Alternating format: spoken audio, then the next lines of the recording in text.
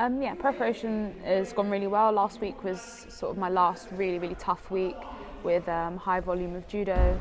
Um, so this week, you know, a little bit less judo, but still just trying to hit the intensity and make sure that I'm sharp in come two weeks.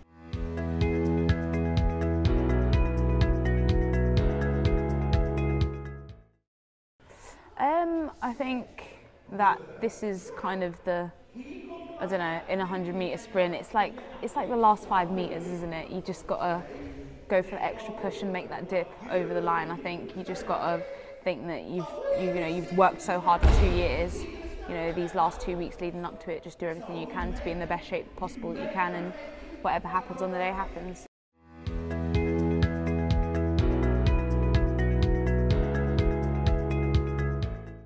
Um, so us four girls, we've got a WhatsApp group and um, we've just been like talking about whether we're going to take two bags or three bags and just kind of really getting excited about it now because sort of the, the hard work's done, you know, the, the, the tears, kind of that bit should be over and done with now. This is the, not the easy bit, but this is the bit where we can just practice on being sharp, feeling our best every day leading up to, to when we fight. So I think this is the time to get really excited and I think we're, we're really good at sort of building the excitement amongst each other and stuff and uh, yeah, we'll be there to support each other too.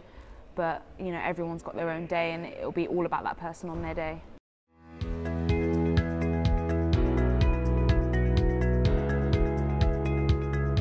Yeah, it was um, it was obviously new to me. I'd never been in a full-time setup before, and um, um, it was it was quite strange because I, I, came in just off the back of the, my juniors, so I didn't know whether coming to the full-time centre whether that would would push me on to then qualify for Rio and then Tokyo, or I wasn't really sure where it would go. But I think sort of you know it's worked. At the end of the day, I'm here where I am now. I'm going to the Olympics, and I just think.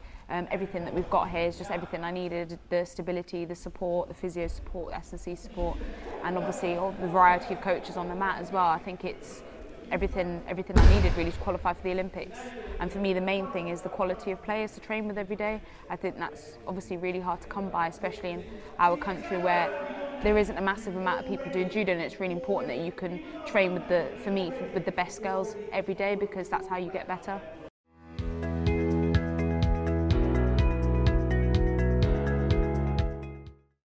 Yeah, I think everyone is so excited.